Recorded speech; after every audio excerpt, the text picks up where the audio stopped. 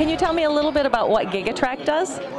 Yes, um, GigaTrak has been a software development company for 23 years now, and we've written actually over a thousand custom software solutions over that time frame.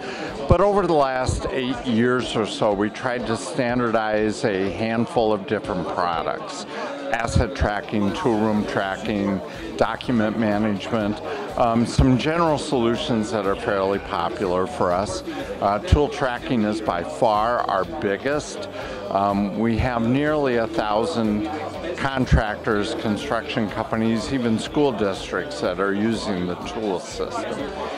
And um, we offer that both on premise, so they can install it on their own networks, but we also offer it in the cloud, which is the big growth and where we've actually centered on the Nautiz equipment and that so that uh, we're now delivering handhelds pretty specific to the handheld product line uh, to our customers. Okay. And so you use both barcode and RFID technology? Um, we started out with uh, barcode exclusively for a long time. Uh, RFID was just a pretty difficult sale.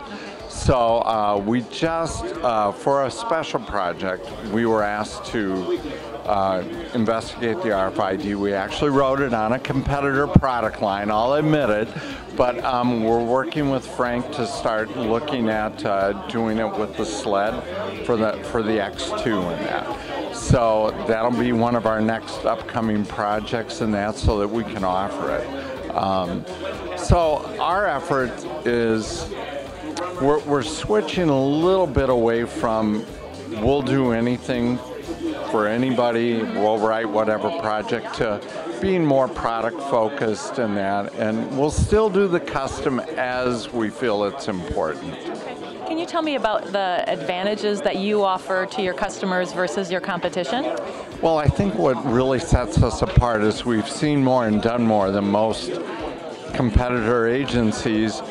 Uh, we've worked with the smallest of companies and some of the largest of companies. Um, post 9-11, we actually wrote the, the counterterrorism inventory for the State Department. It's now gone, it's long extinct, but um, we've been asked to do projects most companies don't address and tackle, and so it makes us pretty unique. Fantastic. So, here, let me just grab a tool. What I did is I printed up some barcode sheets here. So what I can do if I just want to look up a tool, I, I can just scan the barcode and it'll pre present me uh, information about that tool and equipment that I've uh, scanned. But the biggest thing about this is it's all about the checkout, the check-in of tools and equipment so that we know which employee, which job site or wherever these tools were last assigned. And then we use the uh, GPS within the device to record the last known location, the last known scan, so that we have some basic geotagging in here and that. So, and the, the device allows us to do audits on job sites to make sure tools and equipment are there.